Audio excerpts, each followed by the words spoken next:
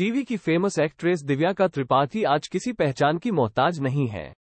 ये है मोहब्बतें में इशिता भल्ला के किरदार से दिव्याका को काफ़ी लोकप्रियता हासिल हुई थी। दिव्याका खतरों के खिलाड़ी जैसे रियलिटी शो में भी नज़र आ चुकी है। अब हाल ही में दिव्याका त्रिपाठी का एक वीडियो इंटरनेट पर तेज़ी से वायरल हो रहा है। इस वीडियो में दिव्याका पेपराजी पर भड़कती नज़र आ रही है।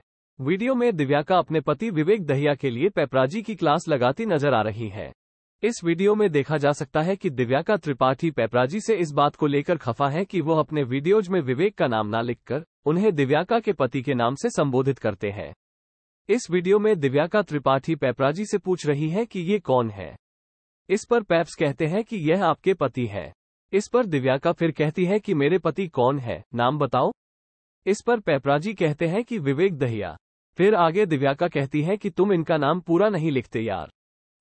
Please subscribe to AP latest update channel and hit the bell icon. Thank you.